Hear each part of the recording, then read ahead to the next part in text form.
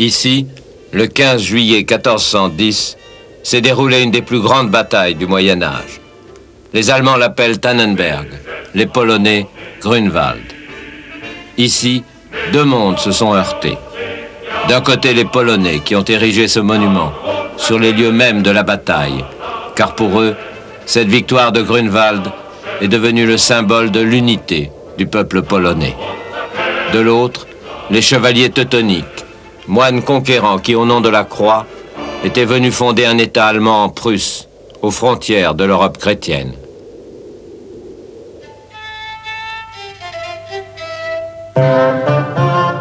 Tout a commencé 200 ans plus tôt, en Palestine, pendant les croisades.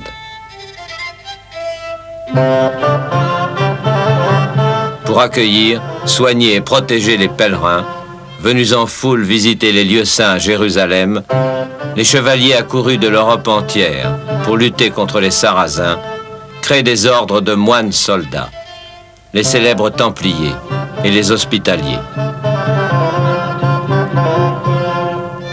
Le dernier né, l'ordre des frères hospitaliers allemands, fondé à Jérusalem en 1191, plus connu sous le nom d'ordre teutonique. Pour se différencier des autres, ces moines allemands ajoutent une croix noire sur leur grand manteau blanc. Une croix noire qui va faire parler d'elle. Mais les croisades s'éternisent, l'élan se perd. Les Sarrasins vont finir par l'emporter en Palestine. Alors pourquoi aller si loin combattre les ennemis de la foi? Quand en Europe même, Grenade en Espagne est encore aux mains des morts. Alors qu'à l'est, à la frontière de l'Europe chrétienne, s'étendent d'immenses territoires occupés par les païens, et d'où les Tatars mongols font des incursions jusqu'en Hongrie et en Pologne.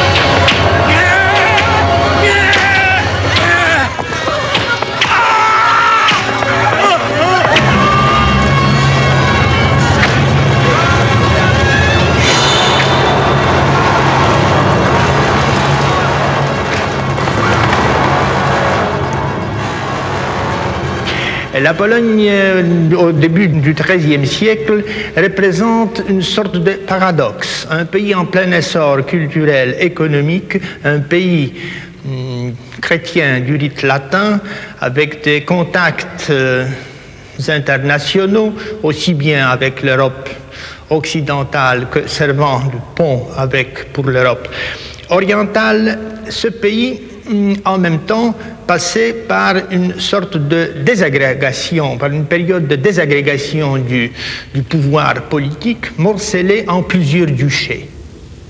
La Pologne divisée est devenue le point faible de la défense de la chrétienté face aux coups de boutoir mongols.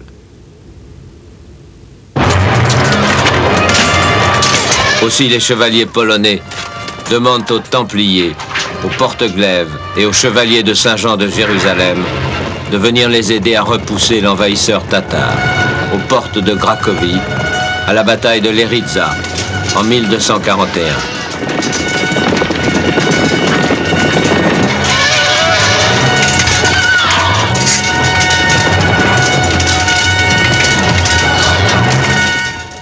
Mais un autre danger pèse sur la Pologne dans le nord.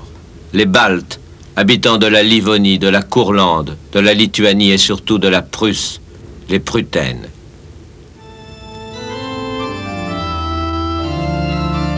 Depuis longtemps, les Polonais et les Prutaines se dressent les uns contre les autres. Au nom de l'Évangile, les Polonais ont tenté de conquérir ce territoire voisin, comme le raconte ce bas-relief de l'église de Gniezno, où on voit Saint Adalbert en train d'exorciser les peuplades païennes. Mais les Prutaines ne se laisseront pas faire et lui couperont la tête. Le problème brutaine dépassaient les possibilités des ducs particuliers de la Pologne divisée. On a pensé à euh, éveiller l'esprit de croisade. Dans ces parages de l'Europe, on pensait aussi à faire du signe de la croix portée par les chevaliers teutoniques, un symbole de l'expansion hum, chrétienne, culturelle, mais bien sûr aussi politique, parce que les ducs de Pologne avaient toujours des visées hum, vers euh, la, la Prusse, mais leurs moyens ont été très faibles à l'époque. En 1226, le duc de Mazovie, Conrad, appelle à l'aide les chevaliers teutoniques et leur offre un petit domaine à Chelmno, en territoire polonais, pour y établir leur base et lutter contre les Prutaines.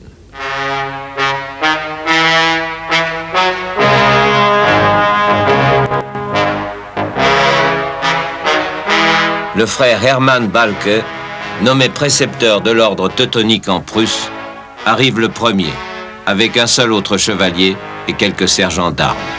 Une poignée d'hommes. Vingt ans plus tard, ils seront une centaine, pas plus mais il représente un ordre riche et puissant, bien décidé à mener ici sa propre croisade et à se tailler un empire. Ils sont venus avec la bénédiction de tous, les Polonais qui les ont appelés, l'empereur d'Allemagne, Frédéric II, qui leur accorde d'avance les provinces conquises sur les infidèles, enfin le pape, Grégoire IX, qui a approuvé leur action. Pour la plupart cadets de la petite noblesse allemande, ils sont à la fois moines et soldats, la croix dans une main, l'épée dans l'autre. Ils ont fait vœu de pauvreté, de chasteté et d'obéissance, mais ce sont de curieux moines en vérité. Leur statut exige par exemple qu'ils apprennent par cœur le pater et le credo. Ils ne le savaient donc pas. Plus étonnant, il leur est interdit, sauf permission spéciale, d'apprendre à lire et à écrire. Ils sont soumis à une règle de fer, obligés de porter la barbe et de dormir tout habillés, pour être toujours prêts à combattre.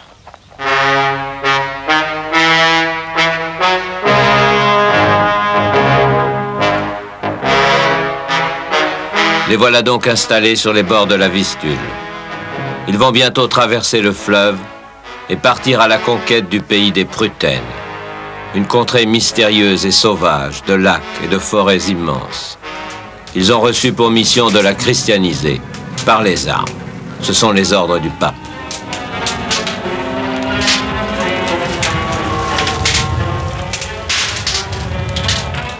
La christianisation par la force a duré dans la première phase pendant une quinzaine d'années. Ensuite, les Prutaines ont pris les armes appuyé par un prince de Poméranie qui a su même envoyer une délégation de Prutaine à Rome pour se plaindre des procédés des Teutoniques. Parce que les Teutoniques traitaient les convertis en esclaves.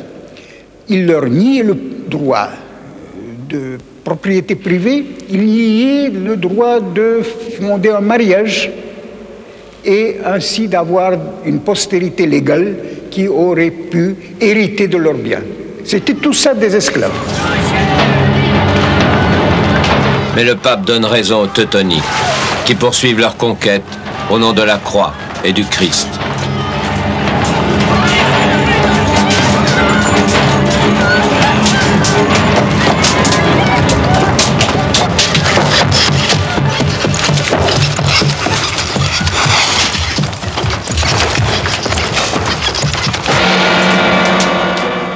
C'était surtout des chevaliers qui comprenaient leur mission euh, comme une conquête et la soumission des païens qui devaient payer les impôts et rester leurs esclaves.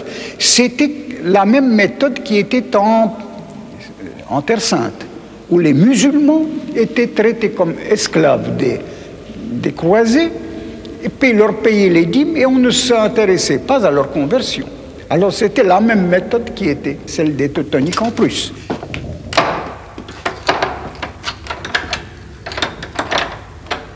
Après tout, les païens n'ont pas d'âme. Avec eux, tout est permis, même la torture. Les teutoniques, comme dit William Orban, l'historien américain, n'avaient jamais le cœur tendre. Mais les guerres contre les païens. On les ont durcis jusqu'à l'extrême. Alors, peut-on dire qu'ils étaient plus cruels que leurs voisins? On n'a pas de moyen de mesurer la cruauté. En tout cas, on ne voit pas que leur caractère monastique puisse euh, influencer leurs mœurs.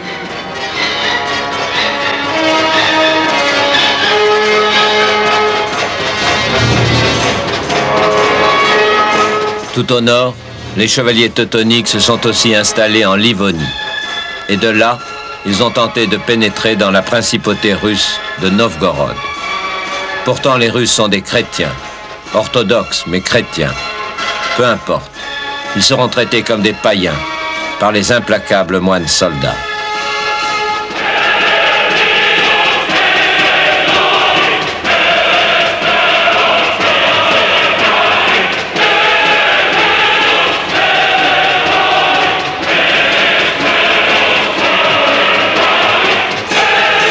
Mais ici, l'ordre teutonique se heurte à la résistance des Russes, conduit par le prince de Novgorod, Alexandre Nevsky, qui vient le défier en bataille rangée.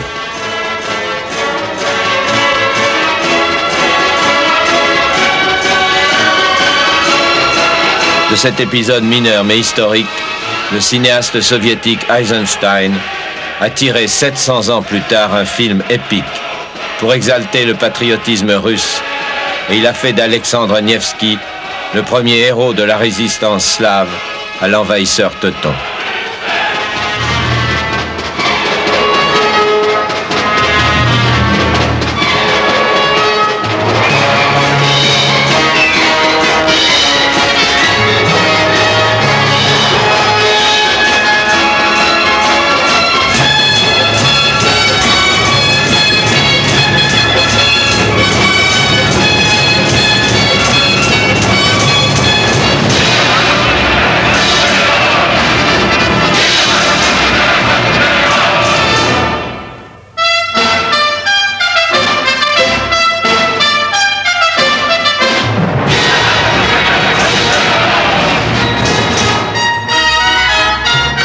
Alexandre Nievski finit par remporter la victoire sur les bords du lac Peipus, dont les glaces cèdent sous le poids des cuirasses teutoniques.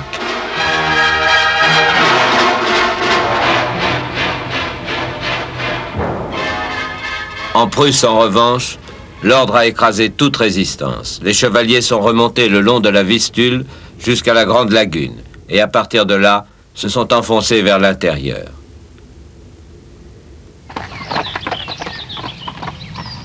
Ils ont d'abord conquis le terrain militairement, aidés par les chevaliers des pays voisins, racolés pour cette nouvelle croisade, allemands, danois, suédois ou polonais.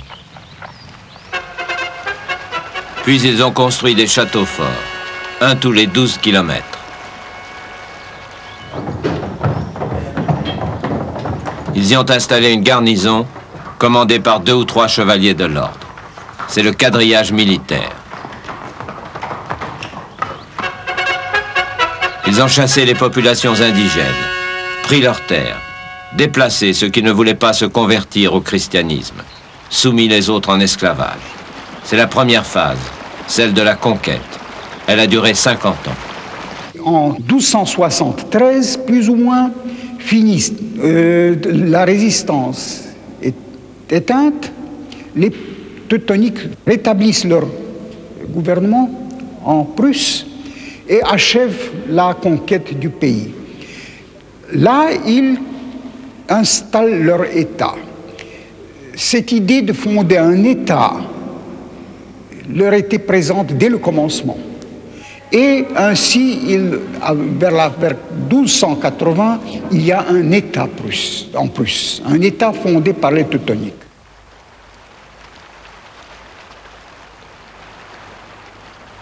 Deuxième étape, la colonisation. Derrière les chevaliers teutoniques sont arrivés les colons et les marchands allemands qui se sont installés en pays conquis. Près de 100 villes et près de 1000 villages se sont créés à l'ombre des châteaux forts de l'ordre. le pays a été divisé en cinq commanderies, gouvernées chacune par un frère chevalier.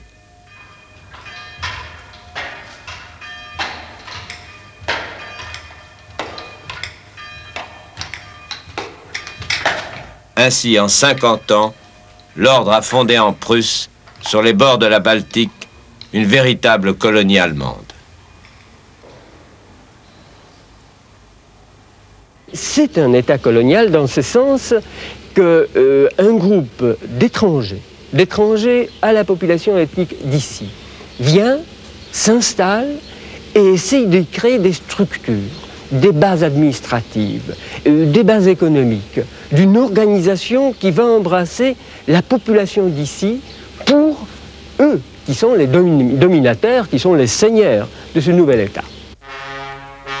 Sur leur lancée, les chevaliers teutoniques s'emparent par un coup de force, en 1308, de la Poméranie, qui n'est pas païenne, elle, mais polonaise.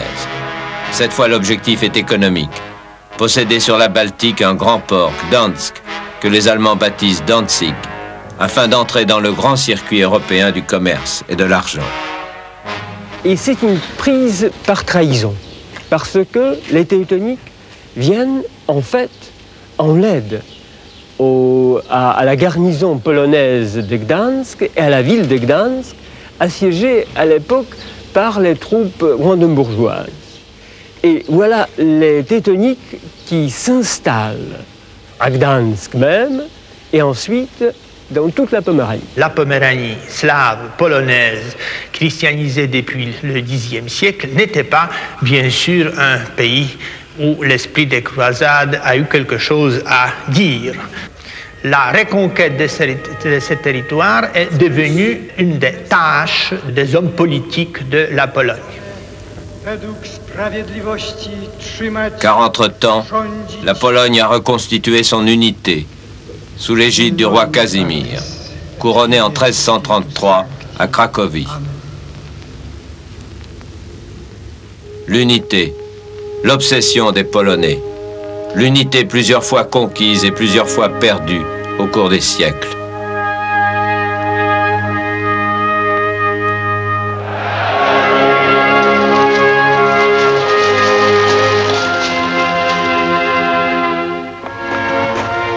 Casimir, qui sera surnommé le Grand, fonde l'université de Cracovie, élimine définitivement la langue allemande dans les textes officiels et impose le polonais, favorise enfin l'essor des villes et de la bourgeoisie.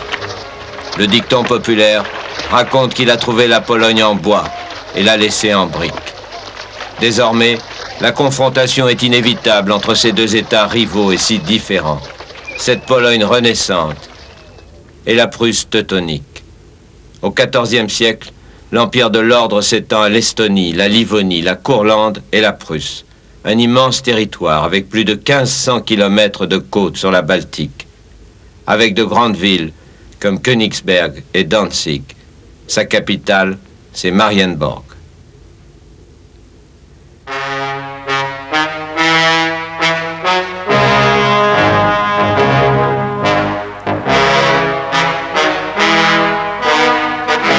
Marienbourg, le château dédié à la Vierge Marie, et que les Polonais appellent Malbork. Une forteresse imprenable, la plus formidable de l'Europe médiévale. Dès 1309, le grand maître, Siegfried von Feuchtwangen, y a transféré le siège de l'ordre teutonique qui était alors à Venise. À la fois caserne et couvent, son style austère, redoutable, est à l'image de l'État qu'une poignée d'hommes est venue créer en Prusse et qui fait l'admiration de l'Europe pour son organisation et son efficacité. L'État, c'est l'ordre.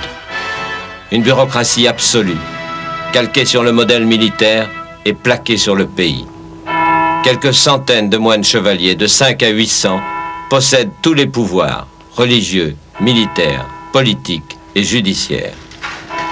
Quel triomphe pour les chevaliers teutoniques, alors qu'à Paris, le roi de France, Philippe le Bel, est en train de briser leurs rivaux, l'ordre des Templiers, dont le pouvoir et la richesse l'inquiétaient. Il a fait brûler vif son grand dignitaire Jacques de Molay et des centaines de frères Templiers. Ici, les chevaliers teutoniques n'ont aucun pouvoir en face d'eux. ils ne dépendent que du pape, et encore en théorie. On ne les appelle d'ailleurs plus des frères, mais des herren, des seigneurs. Ici habite le grand maître, élu à vie, et son état-major, le maréchal de guerre, le grand hospitalier, le grand intendant, le grand maître des territoires.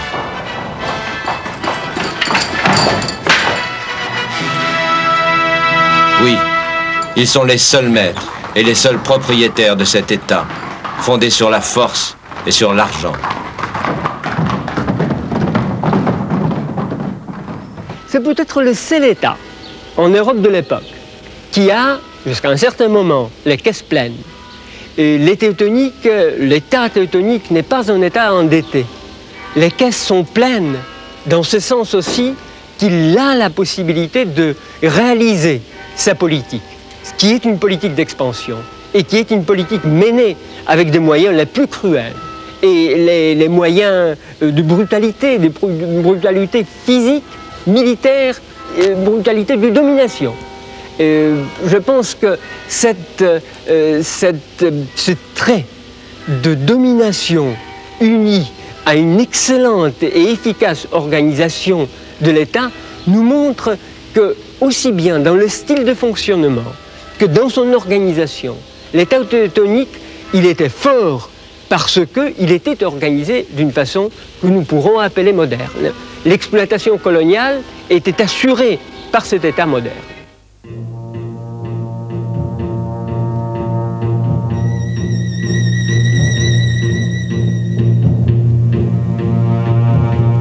Les chevaliers contrôlent aussi toute l'économie et tout le commerce du pays. Ils ont le monopole des pêcheries, celui de l'ambre, matière précieuse tant recherchée pour les bijoux, et qu'ils expédient jusqu'en Chine. Ils exploitent les énormes richesses des forêts, qui fournissent le bois et les mâts pour leurs chantiers navals. Ceux de Danzig sont alors les plus importants d'Europe. Ils y trouvent aussi les fourrures, une des marchandises les plus prestigieuses du Moyen Âge, le miel, la cire, les faucons de chasse, qu'ils vendent dans l'Europe entière.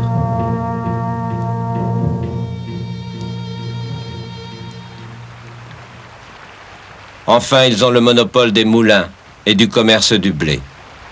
Ils ont construit d'immenses greniers pour le stocker et le vendre au meilleur moment et au meilleur prix. Celui de Marienbourg en contient 12 000 tonnes. Ainsi, l'ordre est devenu un des plus grands fournisseurs de blé de l'Europe.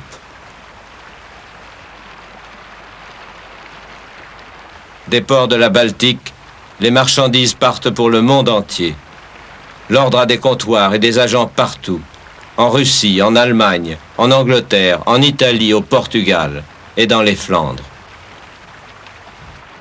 Cela veut dire que l'État s'installe là où se fait le commerce européen. Tout d'abord, il faut penser à Bruges. Bruges, cet immense dépôt de euh, l'économie internationale au XIVe, XVe siècle, là, les Teutoniques ont les représentants spéciaux.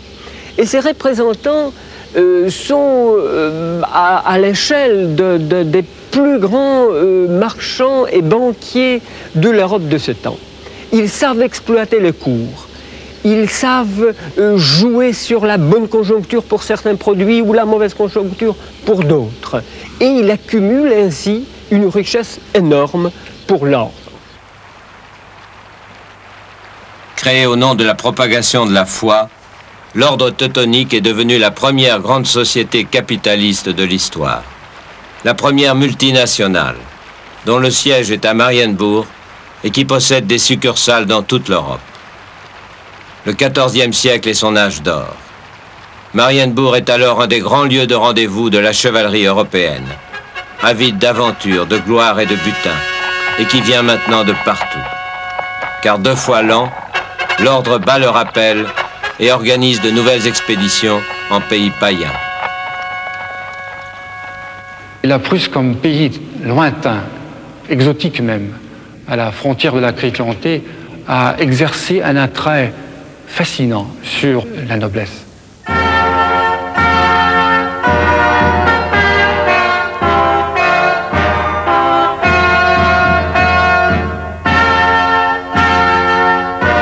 il venait de très loin. Il venait de Florence, il venait de Narbonne, il venait de Foix. Il empruntait pour ceci naturellement des chemins divers. Il empruntait en partie le bateau, pour exemple des chevaliers poitevins, un rochechouart, qui s'embarquaient à La Rochelle et par Bruges, Lübeck Danzig allait vers la Marienburg. Il y avait d'autres qui empruntaient la voie de terre. On voit des chevaliers français passer par Cologne, on voit d'autres passer euh, par Brunswick et, et, la grande route de la Hanse.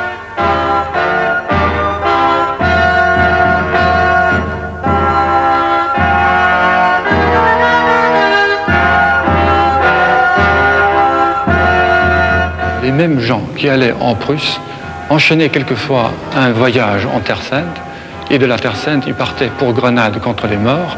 Et puis, il faisait des tournois à Valence, en Espagne, pour retourner en, en Angleterre. La mobilité euh, géographique de la noblesse européenne au XIVe siècle est étonnante.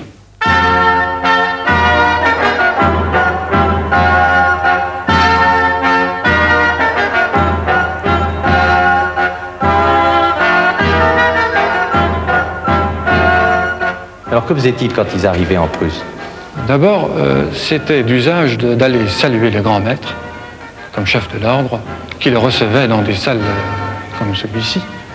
Et euh, après, on se rendait à Königsberg, auprès du maréchal de l'ordre, qui était le chef de guerre de l'ordre. Mais souvent, ils avaient la déception d'apprendre que le temps n'était pas prêt pour partir, alors on a dû faire passer le temps.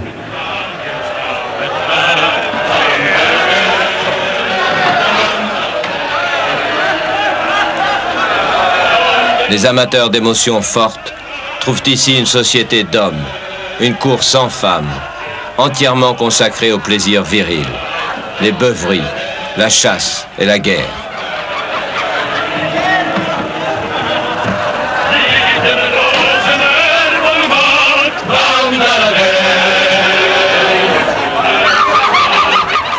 Après avoir été reçus à la table d'honneur par le grand maître, ces chevaliers iront courir le loup, le lynx, l'ours ou le bison, en attendant de partir faire la guerre, toujours plus à l'est, en Grande Lituanie. Il y avait euh, entre euh, la Prusse et la Lituanie une très grosse, très large bande de terre appelée à l'époque même le pays sauvage.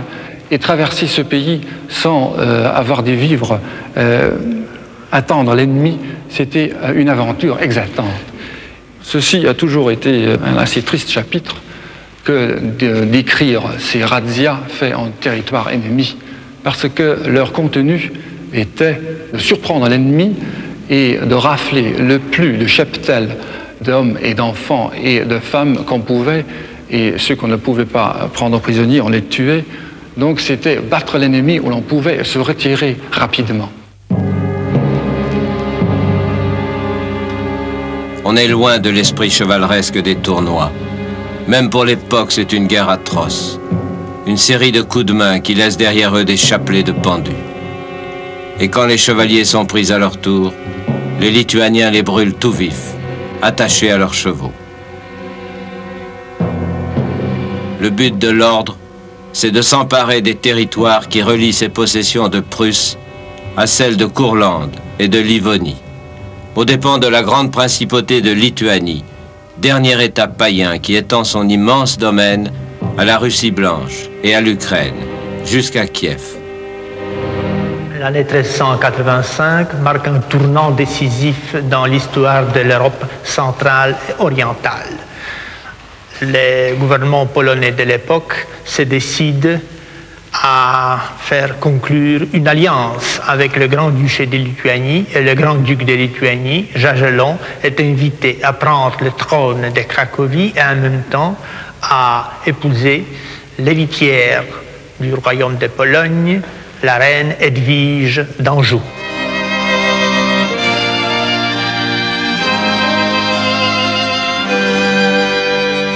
Jagellon, qui est de père lituanien et de mère russe, a déjà la quarantaine quand il épouse Edwige d'Anjou, qui est âgée de 13 ans. Avant de se marier, il se fait baptiser selon le rite latin avec toute sa cour. Prend le nom polonais de Ladislas et part à travers la Lituanie, baptiser lui-même tout son peuple. La Pologne, après tout, elle aussi valait bien une messe.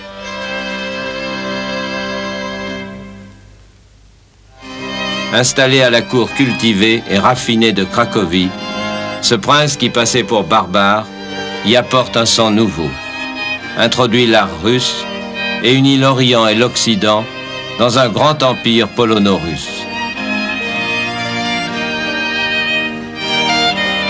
Rusé, fin politique et grand stratège, il va régner 40 ans, aidé de sa femme, l'immense et belle Edwige, de lointaine origine française, et qui portait un sceptre de bois, car elle avait donné tous ses bijoux à l'université de Cracovie. Tous les deux États forment, à partir de ce mariage, un bloc politique, parfois avec des intérêts qu'on discute entre les grands du royaume et du grand-duché, mais avec des buts précis communs dont l'ordre teutonique reste toujours le problème numéro un. Une confrontation avec cet ordre devient de cette façon, à partir de 1385, inexorable.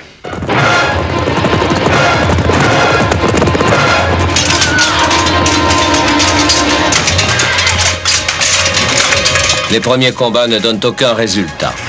Alors, comme on ne se bat pas en hiver, on va conclure un armistice en octobre et se donner rendez-vous pour l'été suivant.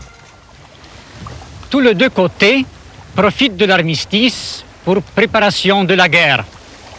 L'ordre teutonique prévoit l'offensive polonaise sur la rive gauche de la Vistule contre la Poméranie, contre la province de Gdańsk. On sait bien la récupération de cette province est très importante pour la Pologne. Mais le roi Jagellon fait construire les bateaux en bois en amont de la Vistule, les transporter 200 km dans les environs de Chervisk et construire le pont flottant sur la fleuve. Les troupes polonaises, les troupes du royaume, ramassées sur la rive gauche, passent le pont, passent la fleuve, et les troupes, les troupes lituaniennes groupées sur la rive droite. Toutes les deux, armées concentrées commencent maintenant l'offensive énergique contre la capitale de l'ordre, contre Malbork. Il faut dire que cette manœuvre pour le Moyen Âge était tout à fait extraordinaire et inattendue.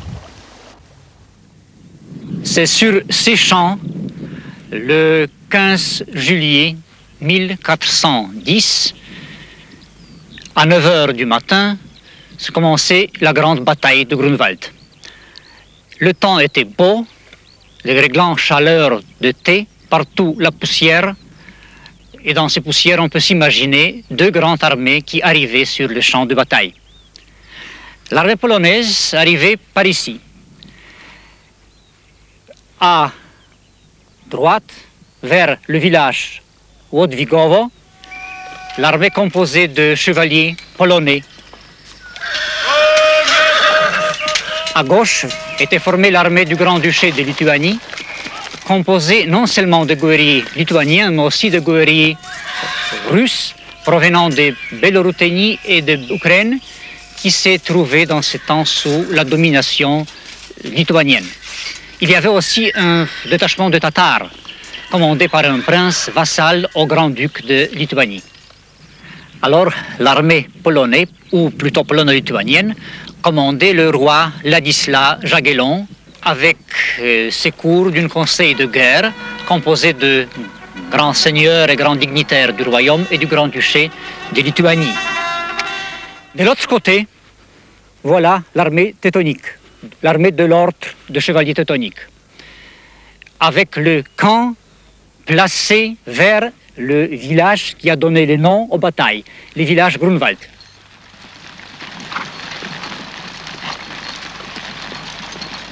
L'armée de l'ordre était commandée par le grand maître Ulrich von Jungingen avec secours de grands dignitaires de l'ordre. Les chevaliers qui sont venus pour aider l'ordre teutonique combattre le païen comme on le pensait, sont venus de divers pays de l'Europe occidentale. Ils sont venus de France, ils sont venus de Bourgogne, d'Angleterre, de la Suisse, naturellement surtout d'Allemagne. Mais il faut dire aussi que même de l'Allemagne, même les Allemands ne sont pas venus en tel nombre qu'on pouvait prévoir. Et c'était grâce à contre-propagande polonaise qui savait assez bien neutraliser le renfort de propagande de l'ordre.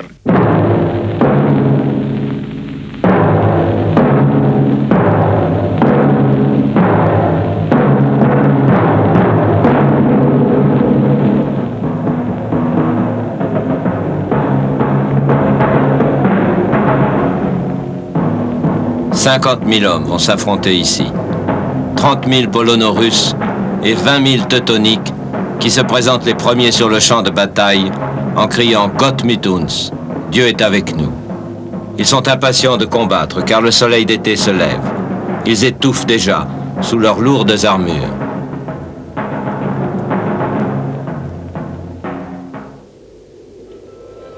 Le roi Jacques Gélon, qui n'a pas fini de rassembler ses troupes, décide de faire dire deux messes pour gagner du temps. Le grand maître n'osera tout de même pas attaquer pendant l'office. Excédé, Ulrich von Jungingen envoie deux héros d'armes pour sommer les Polonais de se battre.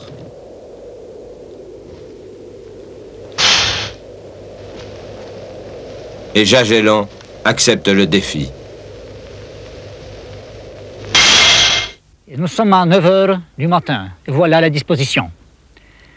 L'armée polonaise, à la lisière de la forêt, le Polonais à gauche, lituanien à droite, le camp au bord du lac Lubin, le camp polonais, le camp lituanien, la réserve polonaise cachée dans la forêt. Du côté de l'ordre, l'aile droite commandée par Kuno von Liechtenstein, l'aile gauche commandée par Friedrich von Wallenroth, dans le premier rang, l'infanterie et les canons. Le camp près, de village, près du village Grunwald. Ici, la réserve commandée par le grand maître lui-même. Pour commencer la bataille, le roi donne l'ordre aux Lituaniens de commencer la charge.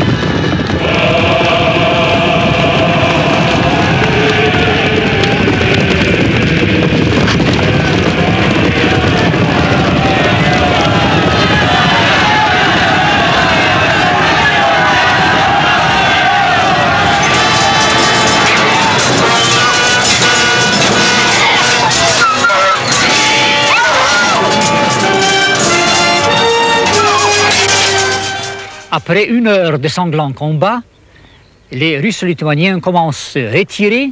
Cette retraite change en fuite. L'aile droite, le flanc droit de l'armée polonaise est gravement menacé.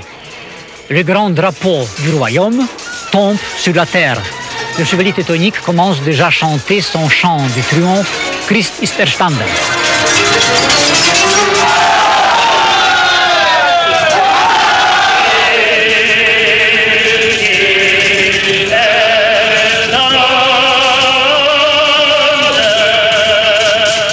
Mais le roi, Saf, faire intervenir la première partie de sa réserve qui sauve cette situation grave.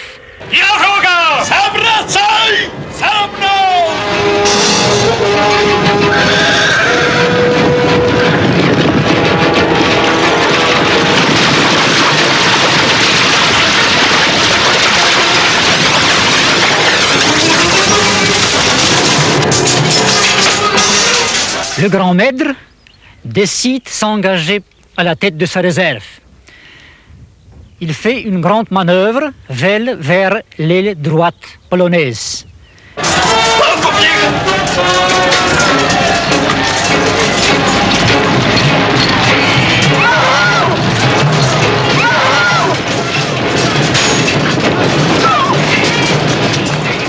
Le roi qui se trouve à l'aile droite de ses forces avec sa suite et un petit détachement de sa garde, est personnellement menacé.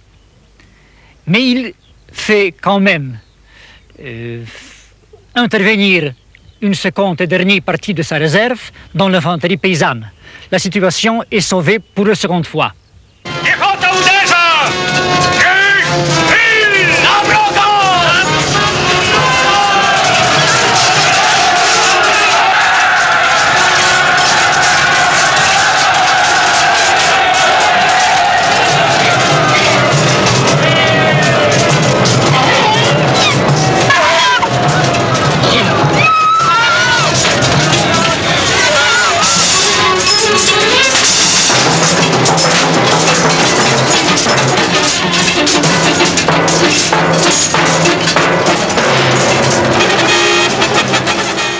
Le bataille est déjà perdu pour les chevaliers teutoniques. Mais cette défaite se change en catastrophe totale parce qu'une partie de troupes russes-lituaniennes rentre au combat et encercle définitivement les gros de troupes de l'ordre.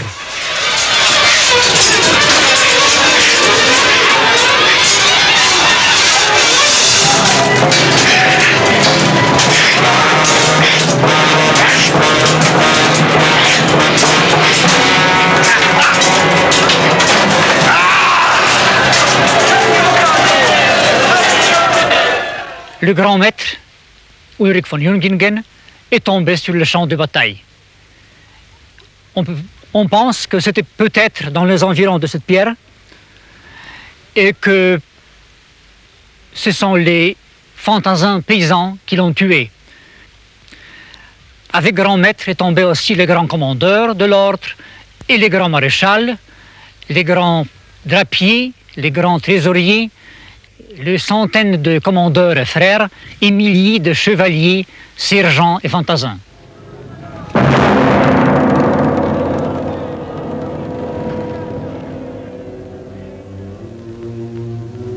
C'est sur ce champ que les plus puissantes organisations militaires peut-être du Moyen, du Moyen Âge furent définitivement brisées. L'écho de ces batailles chez les contemporains était énorme. On parlait de Grunwald en toute l'Europe. On exagérait le nombre de combattants dans une façon extrêmement. Un voyageur et chevalier français, un garant de Montrelais, voyait un million combattants chez les Polono-Lituaniennes. Un franciscain de Lubeck voyait même 6 millions Polono-Lituaniens sur le champ de Grunwald. Pour Jagellon, c'est une grande victoire. Les bannières prises aux chevaliers teutoniques iront tapisser les murs des palais des rois de Pologne, à Cracovie. Mais s'il a gagné une bataille, il n'a pas gagné la guerre. Dans l'imprenable Marienbourg, un des chefs teutoniques, Heinrich von Plauen, s'est enfermé avec 3000 hommes et des provisions pour plusieurs années. Jagellon vient mettre le siège devant la forteresse. Mais l'hiver approche. Les chevaliers polonais en ont assez, ils veulent rentrer chez eux. Alors, Jagellon abandonne. L'existence de l'ordre est sauvée.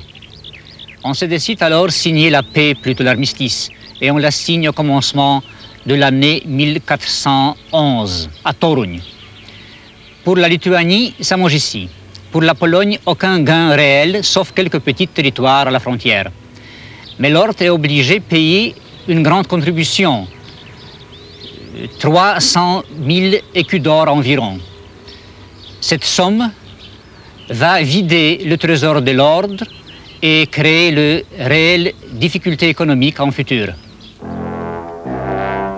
L'élan est brisé. L'ordre réussit à se maintenir, mais son crédit est miné, au dehors comme au dedans.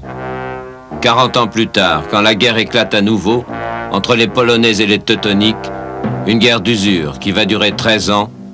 Les bourgeois allemands de Prusse eux-mêmes en profitent pour se révolter contre la tyrannie de l'ordre et pour brûler ses châteaux, comme ici, à Torun.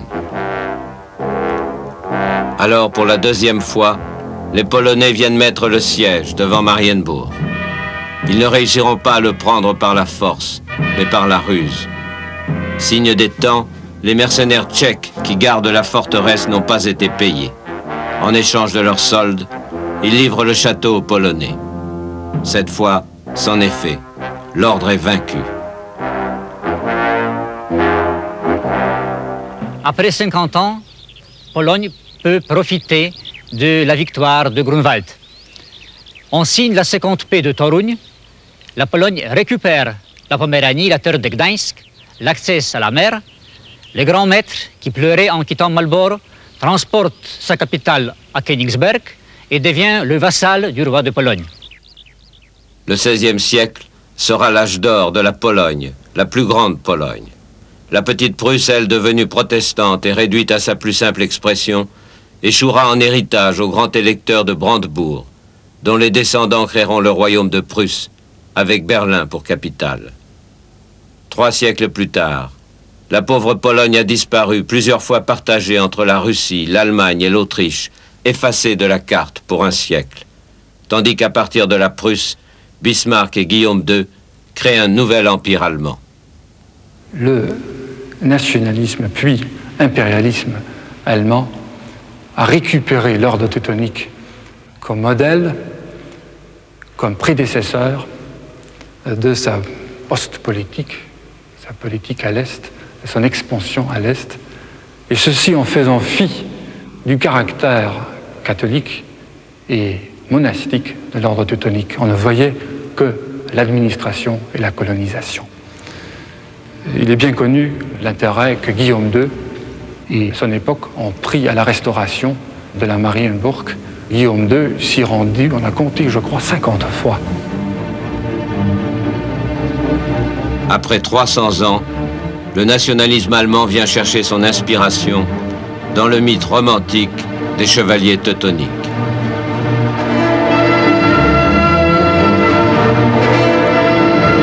Oui, la Prusse, militariste de Guillaume II, est bien calquée sur le modèle teutonique. L'État, c'est l'armée. Une armée de hobros prussiens, les Junkers, qui se considèrent comme une race de seigneurs, qui portent la croix noire, le casque d'acier, et qui ont inscrit sur la boucle de leur ceinturon Gott mit uns, Dieu est avec nous. Au nom du pangermanisme, cette Prusse a vaincu l'Autriche, battu la France en 70, pris l'Alsace-Lorraine et créé le Deuxième Reich. Par le fer et par le sang, comme disait Bismarck.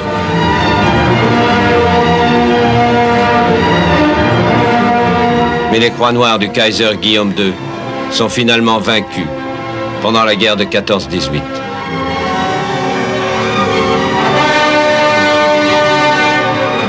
Alors Hitler, à son tour, relève le flambeau du nationalisme allemand, crée le Troisième Reich et marie la croix gammée à la croix noire.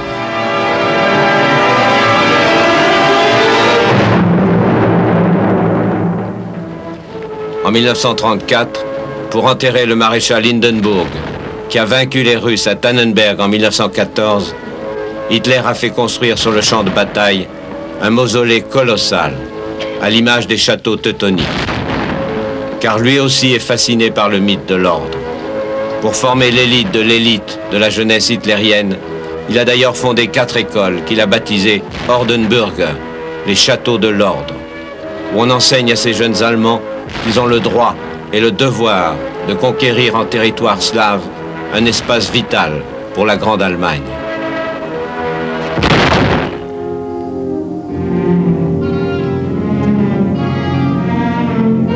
Premier objectif, la Pologne. Après la guerre de 14-18, la Pologne a enfin ressuscité. Pour qu'elle ait un accès à la mer, on lui a donné un couloir qui coupe la Prusse en deux. Et le grand port de Danzig a été déclaré ville libre. C'est Danzig qu'Hitler veut en 1939, comme les chevaliers teutoniques, six siècles plus tôt. Pour prendre Danzig, il envahit la Pologne et déclenche ainsi la Deuxième Guerre mondiale.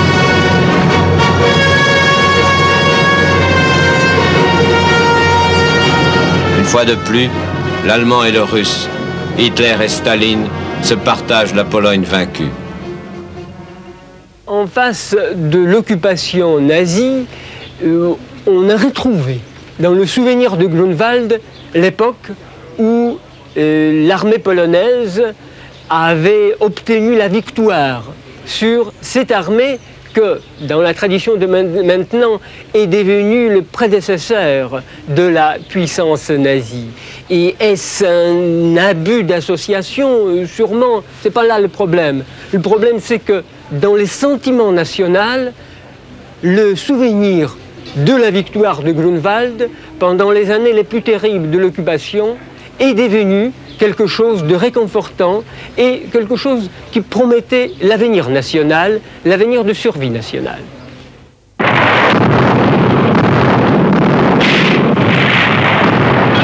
« 1944.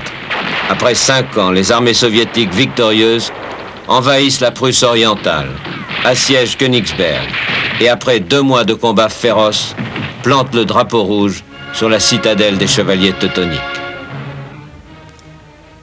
tandis que sur la grande lagune gelée, les Allemands de Prusse fuient vers l'ouest, abandonnant pour toujours les territoires conquis jadis par les chevaliers teutoniques.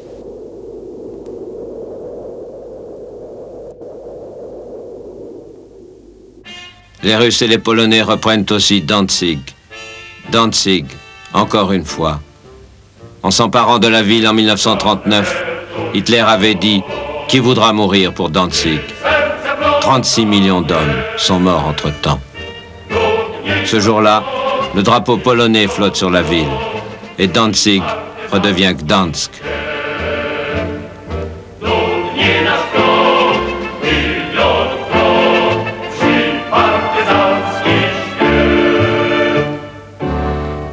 À Yalta, les quatre grands redessinent alors la carte de l'Europe orientale. La Russie annexe les États baltes une partie de la Prusse orientale avec sa capitale Königsberg, qui devient Kaliningrad, et près de la moitié de la Pologne.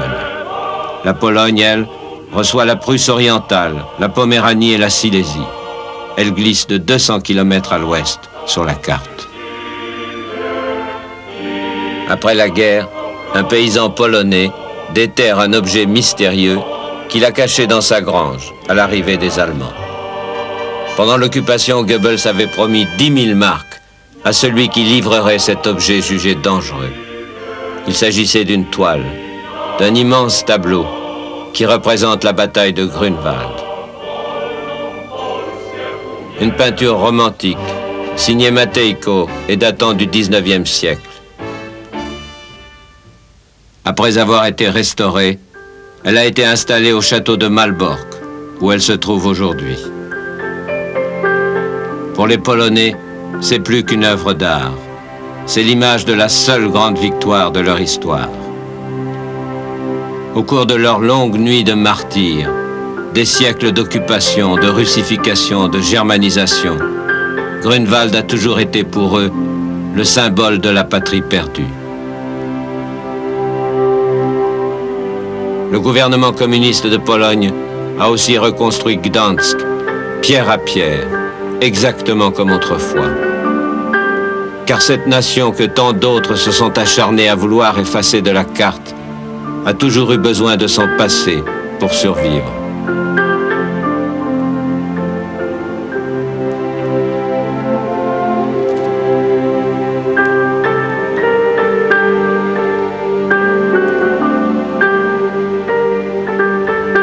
Encore aujourd'hui, six siècles plus tard, les dessins des enfants des écoles racontent à leur façon cette victoire de Grunwald, où d'une forêt de croix noires s'élève dans le ciel l'aigle blanc de la Pologne.